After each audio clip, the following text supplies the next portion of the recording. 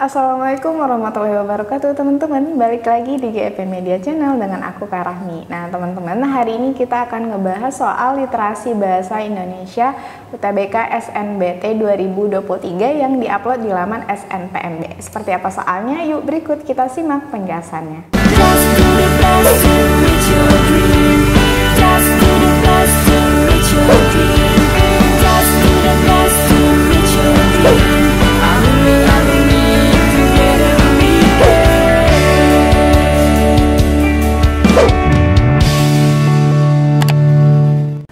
TPS UTBK 2023 versi kurikulum merdeka? Ikut kelas online di GP Media aja. Kamu bisa belajar 4 subtes TPS dalam 20 kali pertemuan dengan benefit ebook, 12 kali tryout, dan masih banyak benefit lainnya. Harganya 350 ribu aja loh.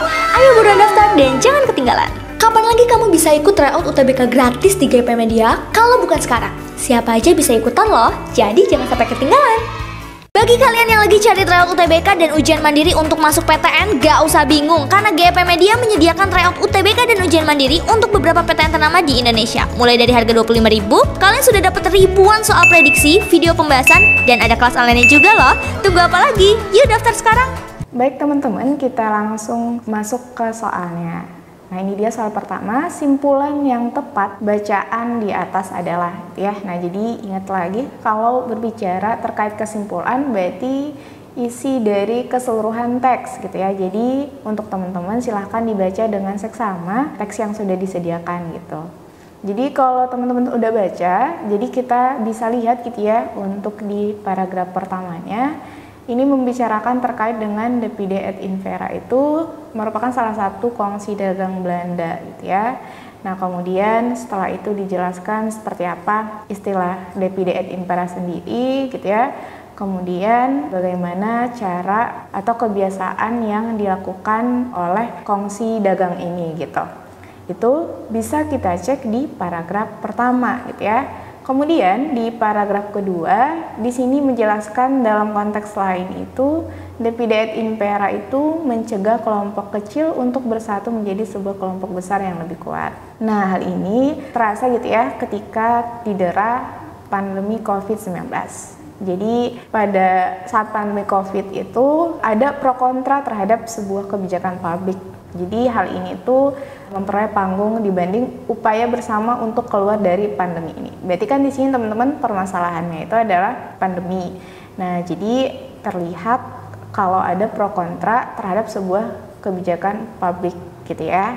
Nah, padahal sedang terjadi pandemi dan kita memperoleh panggung daripada upaya bersama untuk keluar dari pandemi tersebut seperti itu.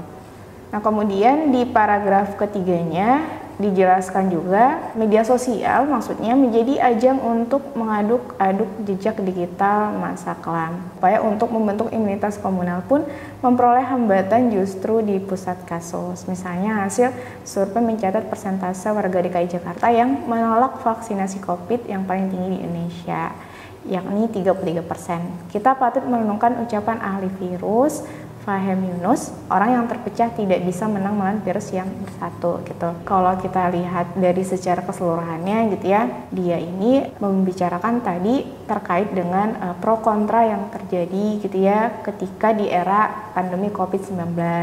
Nah, jadi kesimpulan yang bisa kita ambil dari keseluruhan penjelasan yang ada itu adalah bagaimana caranya supaya kita bisa menghadapi atau menyelesaikan permasalahan pandemi itu sendiri seperti itu. Nah, jadi kalau misalkan kita cek simpulan dari opsi yang disediakan gitu ya untuk opsi yang A-nya, pemerintah Belanda dapat menguasai seluruh wilayah Nusantara dalam waktu yang lama karena menerapkan strategi divide et impera. Nah, ini merupakan bukan isi secara keseluruhan gitu ya.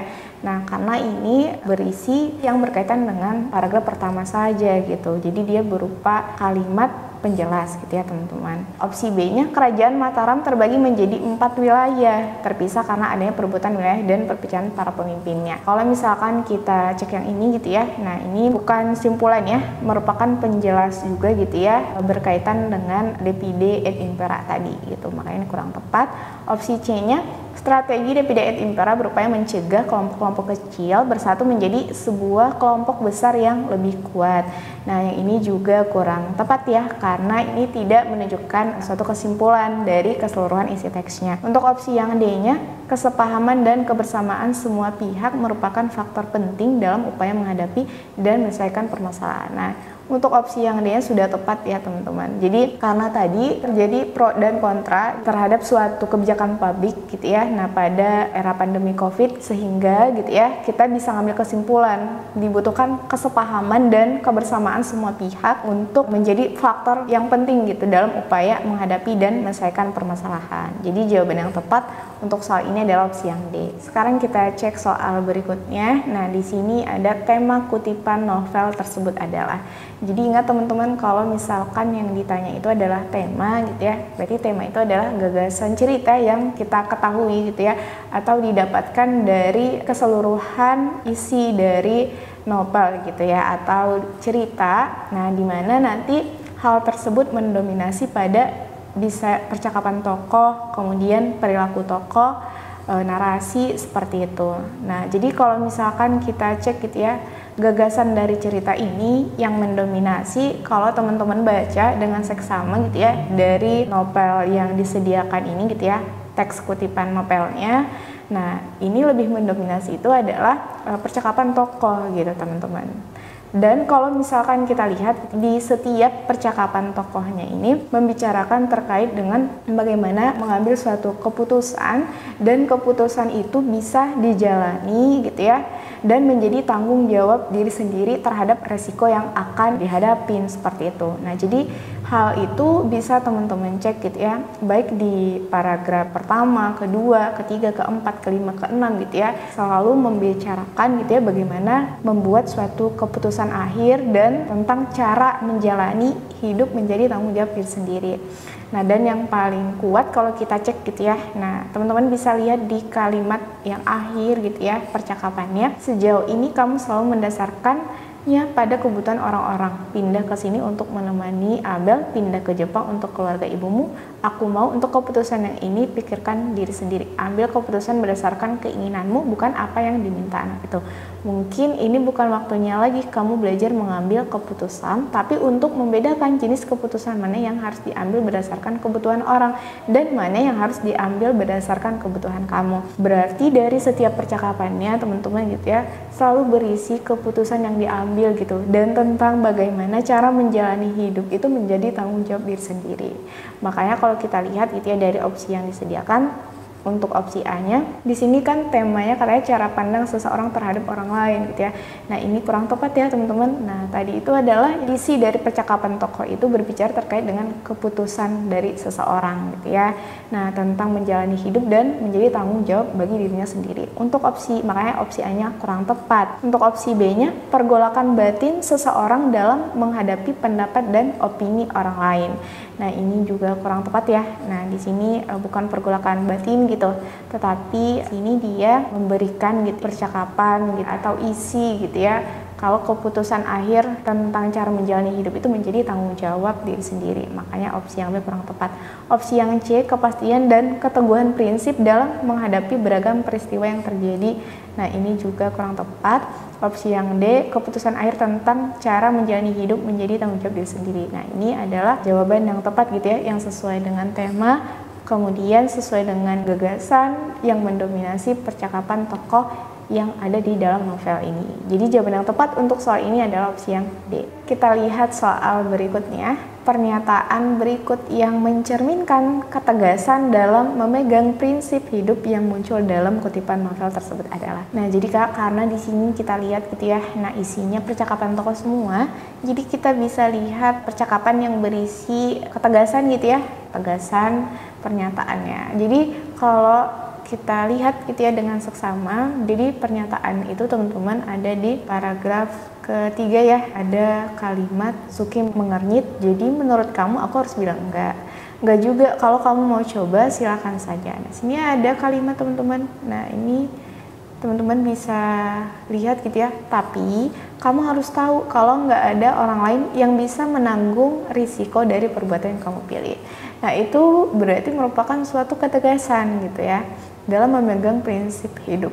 Karena ketegasan itu akan muncul seperti itu ya. Kalau misalkan kita lihat gitu ya berdasarkan percakapannya, nah jadi ketegasannya ada pada kalimat ini seperti itu. Kemudian kalau untuk percakapan lainnya gitu ya, nah di sini merupakan kata-kata yang sejauh ini gitu ya Nah, kemudian e, mungkin nah itu merupakan suatu nasihat gitu ya dari tokoh aku ke e, tokoh Suki seperti itu. Kita cek dari opsi yang disediakan, opsi A-nya dan kalau kesalahan dia atau kesalahan kamu menyakiti salah satu dari kalian bisa saja itu membekas dan berdampak parah.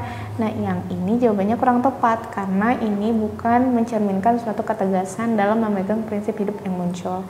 Tetapi ini merupakan suatu pendapat ya teman-teman kalau dari kalimatnya itu ya. Karena di sini ada kata-kata bisa saja itu membekas. Nah, bisa saja itu merupakan bukan suatu ketegasan tapi mencerminkan suatu pendapat. Makanya opsi A-nya kurang tepat. Si B-nya tapi sebagai orang yang sayang kamu, aku akan otomatis menganggap kalau nggak ada anak yang sepadan untuk kamu. Nah, sini juga ada kata-kata menganggap gitu ya. Nah, menganggap itu merupakan suatu pendapat gitu ya, mencerminkan uh, suatu pendapat. Makanya untuk opsi B-nya kurang tepat. Opsi C-nya tapi kamu harus tahu kalau nggak ada orang lain yang bisa menanggung resiko dari perbuatan yang kamu pilih. Nah, ini adalah jawaban yang tepat ya, karena ini merupakan suatu ketegasan. Untuk opsi yang D-nya ada kata-kata menurutku. Nah, menurutku ini adalah suatu pendapat, makanya kurang tepat gitu ya, bukan ketegasan. Untuk opsi E-nya aku mau untuk keputusan ini pikirkan diri sendiri, ambil keputusan bersama keinginan, bukan apa yang diminta anak itu. Nah, jadi ini juga kurang tepat ya. Jadi jawaban yang tepat untuk soal ini adalah opsi yang C. Baik teman-teman, itu dia tadi pembahasan soal literasi bahasa Indonesia UTBK SNBT 2023 yang diupload dari laman SNPMB. Sekian dari kakak, semoga membantu. Sampai jumpa.